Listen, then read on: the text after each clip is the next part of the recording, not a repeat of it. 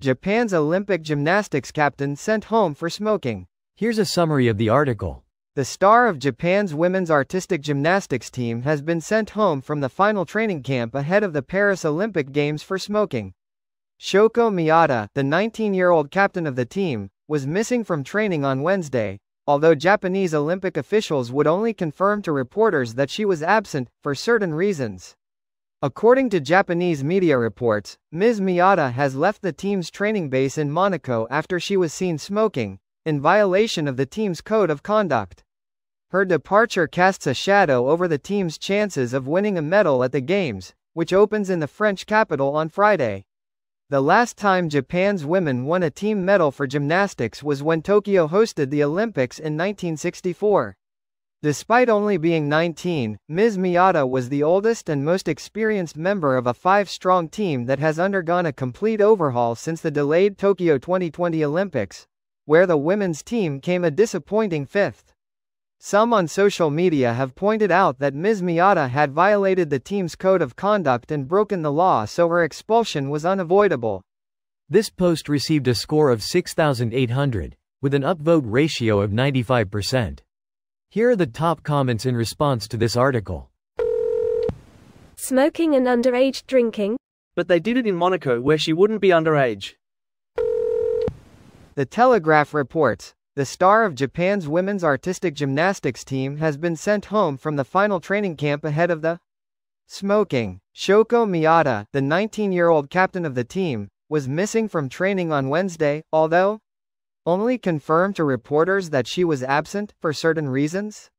According to Japanese media reports, Ms. Miyata has left the team's training base in Monaco after being seen smoking, in violation of the team's code of conduct.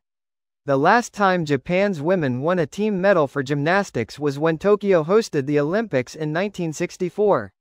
So basically she was sent home for violating team code of conduct. Not criminal except only that the Japanese do not allow it, and the prohibition is also reflected in the code of conduct. No legal ramifications, just team discipline. I'm sure there have been US kids tossed off school or college teams for conduct violations from time to time. Just team discipline and having to answer to her family when she returns. The society she's going back home to puts a huge emphasis on following the rules and not shaming the collective population, and she did it on an international platform. I can't imagine what kind of backlash this woman will receive. I'm sure she will bounce back eventually, but I really don't envy the attitude she's going to have to endure from people when she gets back. Funnily enough is that no one cares if a 19-yo was smoking or not. Do the Japanese think the rest of the world cares if she's smoking or not?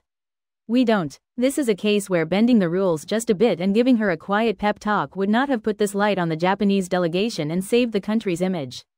Now I see Japan as a country too rule obsessed, to the point of trying to bench a Olympic athlete for something inconsequential. Japan doesn't GAF what foreigners think lol. Unless it's for that tourism moolah.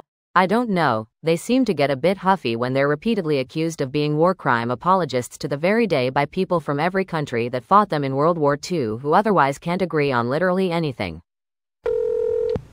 Important to note that it was Japan's decision, not the Olympic Committee. It was against the team's code of conduct. Code of conducts exist for a reason, but a first offense warning was probably all they needed. Japan is also not replacing her on the team leaving their team a member short. Probably because the IOC wouldn't see it as a justifiable reason to boot her from the team. So the rest of the girls suffer. This video was automatically created by Reddit to speech. The article and comments in this video were selected from Reddit according to their upvotes, and any paraphrasing was performed by smmry.com, without any human intervention.